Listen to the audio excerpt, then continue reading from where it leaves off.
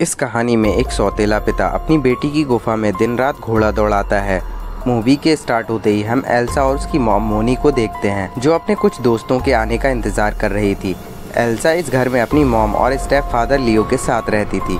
लियो काफ़ी गुस्से वाला आदमी था। जब वो मार्केट से वापस लौटता है, तब सिक्योरिटी का गेट खोलने में थोड़ी देर हो जाती है। क्योंकि वो अपने फ़ोन में मियाँ मालवोका की वीडियोस देखकर अपना औज़ार हिला रहा था। इसके बाद लियो सिक्योरिटी को गाली देकर जब वो घर में आकर अपनी वाइफ और बेटी को बुलाता है तो उसे कोई नज़र नहीं आता। बाथरूम का दरवाज़ा खोलने पर उसे एल्सा दिखती है, जो अपनी गुफा में उंगली कर रही थी। अगले सीन में लियो उससे कहता है कि रात को मुझे आने में देर हो जाएगी। ये बात तुम अपनी मॉम को बता देना। कुछ देर बाद मोनी के दो दोस्त उसके घर आते हैं। लड़के का नाम रोनी और लड़की का नाम जैस होता है। इन दोनों एक बीमारी फैली हुई थी, जिस वजह से मोनी अपनी पूरी तसल्ली करने के बाद ही उन्हें घर में आने को कहती है। मोनी को डर था कि कहीं अपने दोस्तों की वजह से वो अपने फैमिली को बीमार ना कर ले। तभी उसकी एक और फ्रेंड लेली भी वहाँ आ गई। सभी दोस्त एक दूसरे से मिलकर बहुत खुश होते हैं और रात होते ही चाइना का फ़ेमस गेम खेलने लगते हैं। ये गेम चार लोग मिलकर खेलते हैं। दूसरी तरफ़ किचन में एल्सा अपने घर के नौकर मोंटी के साथ खाना बनाने की नई नई वीडियोस देख रही थी। उसी समय लिली का ड्राइवर जैस पर पानी पीने के लिए आता है। प्याज के साथ साथ उसे काफ़ी भूख भी लगी थी। इसलिए वो खाना लेकर वहाँ से चला जाता है। मोनी अपने दोस्त के साथ बैठी खाना खा रही थी। और इसका फ़ायदा उठाकर एल्सा घर के बाहर छुट्टा मारने आ जाती है। यहाँ जैसपर बैठा खाना खा रहा था। इसके बाद वो दोनों बातें करते हैं और जैसपर उसका नंबर ले लेता है। फिर एल्सा वहाँ से चली जाती है। अब खाना खाने के बाद लिली अपने ड्राइवर जैसपर के पास पहुँच गई थी। वो उसे अपनी मालिश करने को कहती है। अपनी मालकिन की बात मानकर जैस पर गाड़ी में आकर मालिश करनी शुरू कर देता है। मगर मालिश करते करते वो अपने घोड़े पर तेल लगाकर लिली की गुफा में डाल देता है, जिसके लिली भी खूब मज़े लेती है। वो अच्छी तरह से उसे निचोड़कर एल्सा से बात करने लग गया।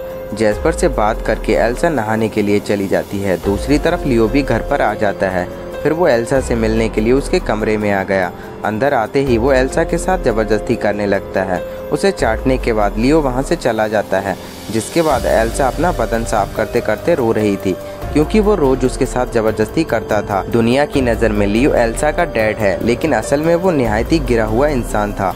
अब एल्सा अपने नौकर मोंटी के पास जाकर सो जाती है, क्योंकि वो मोंटी के पास काफ़ी सेफ़ महसूस करती थी। अगली सुबह जब लियो नींद से उठता है तो उसकी नज़र एल्सा पर पड़ती है, जो घर के बाहर जैसपर से बातें कर रही थी।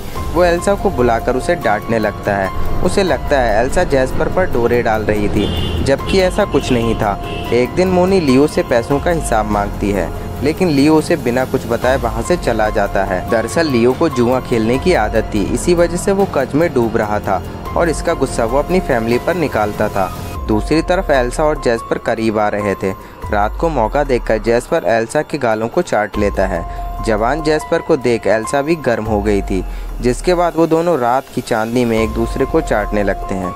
और रोनी अपनी खिड़की से सब देख रहा था। अब जैसपर अपने हथियार की गोली चलाने ही वाला था कि तभी उन्हें कोई आवाज़ सुनाई देती है, और आवाज़ सुनकर जैसपर वहाँ से भाग जाता है। थोड़ी देर बाद जैसपर अपना अधूरा काम पूरा करने के लिए चुपके से एल्सा के कमरे में घुस आता है, जिसके बाद वो दबाकर एल्सा की ठुकाई करता है। पलंग की आवाज़ लियो ने भी सुन ली थी और वो एल्सा के कमरे के बाहर कान लगा अंदर चल रहे दंगल का अंदाज़ा लगा लेता है, लेकिन उसके छापा मारने से पहले ही जैसपर अपना काम कर कर वहाँ से भाग चुका था। मगर अगली सुबह वो उन दोनों को साथ में चाय की चुस्की लेते पकड़ लेता है और जैसपर उसे डर कर वहाँ से भाग जाता है। उसके जाते ही लियो एल्सा को डांटने लगा। वो कहता है, अगर तुमने जैसपर को देना बंद नहीं किया तो मुझसे बुरा कोई नहीं होगा। मगर एल्सा उसकी बात मानने से साफ़ साफ़ मना कर देती है।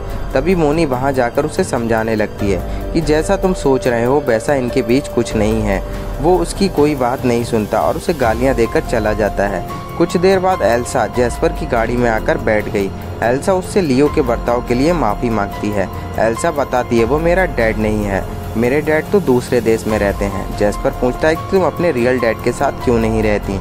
तो इस पर एल्सा उसे बताती है कि मैं जाना तो चाहती हूँ, मगर लियो मुझे कहीं जाने नहीं देता। वो उससे पूछती है, क्या यहाँ से भागने में तुम मेरी मदद करोगे? इससे पहले वो कोई जवाब देता, उसकी नज़र अपनी मालकिन पर पड़ती है, जो उसके पास ही आ रही थी। एल्सा को गाड़ी में ही छुपाकर वो लिली की बातें सुनने लगता है। लिली की काली गुफा में आग लगी हुई थी, इसलिए वो जैस्पर के पास आई थी। वो जैस्पर को अपनी गाड़ी में बिठाकर उसका हथियार चूसने लगती है। ये रंगारंग कार्यक्रम गाड़ी में छुपी हुई एल्सा भी देख रही थी।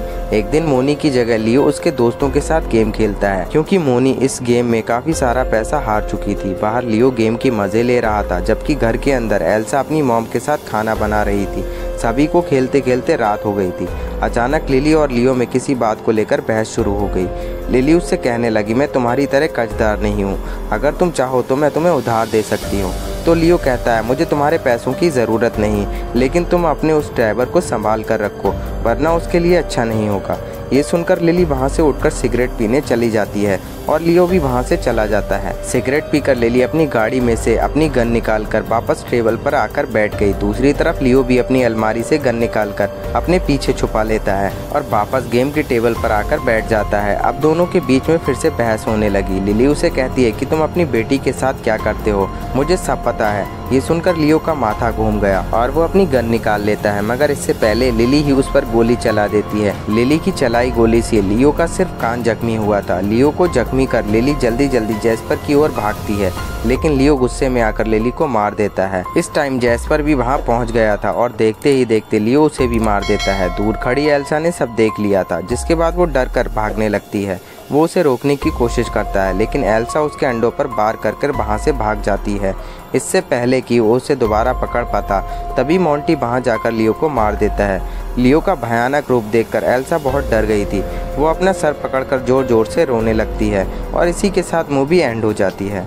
आई होप आपको एक्सप्लेनेशन अच्छा लगा होगा।